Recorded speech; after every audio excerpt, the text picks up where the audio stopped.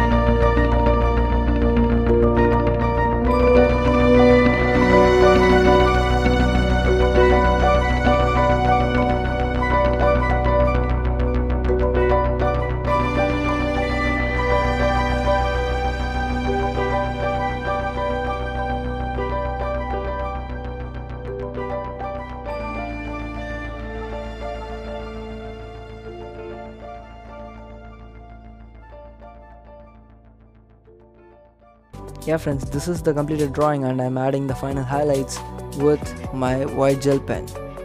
It is one of my favorite thing. This is the completed picture friends. Hope you like it and yeah. If you like this video please give a thumbs up and share with your friends. If you are new to my channel I'd love to have you subscribe right here and turn on the post notifications. Thank you so much for watching friends. See you. Bye.